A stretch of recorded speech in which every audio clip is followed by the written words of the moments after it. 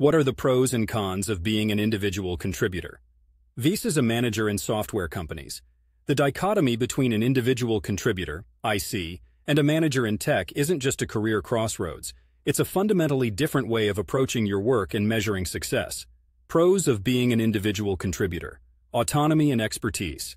As an IC, your days are oftentimes spent deep in code, algorithm challenges, and system architecture. You're the expert, and you keep getting better with each problem solved. Technical mastery. You have the chance to become a techno-wizard in your domain. In places like Portland, where tech communities are tight-knit, being a guru in, say, Python or Ruby can make you quite in demand. Merit-based impact. Your code speaks for you. If you commit high-quality updates to the Git repository that save the day, your work is visible. It's a meritocracy of commits. Work-life balance.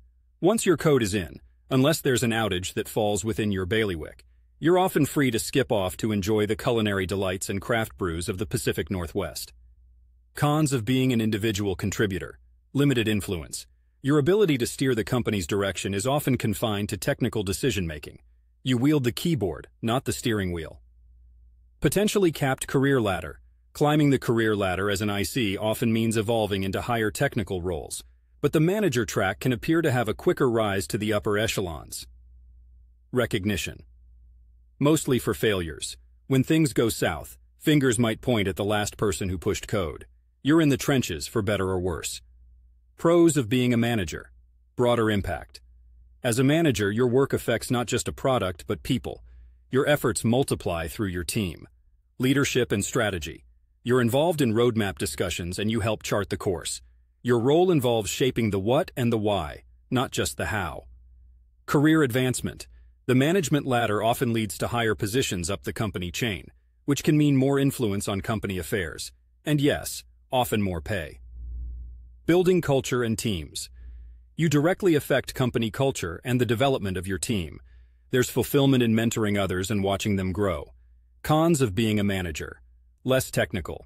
You may find less time for hands-on coding as you're absorbed in meetings, planning, and people management. Some love it. Some miss the rush of fixing a bug at 2 a.m. People challenges. People aren't code. They don't always compile cleanly. Conflict management and performance evaluations can introduce stress foreign to pure code warriors. Always on call. Your team's problems are your problems. If they're burning the midnight oil wrestling with Kubernetes, expect your phone to be a buzz. Risk of disconnect. This is subtle but significant managers can become removed from the day-to-day -day technology changes and lose touch with the skills that got them promoted in the first place. Whether you stroll through the Pearl District or sit down to strategize your team's next sprint, the essence of the IC versus manager debate in software companies is about personal fulfillment. Do you revel in the idea of your work being the key cog in a well-oiled machine? Or does your passion lie in orchestrating the whole operation? Portland's rain might make for frequent introspective coffee shop stays, Perfect for pondering your place in the tech ecosystem. Choose wisely. Choose what brings you joy.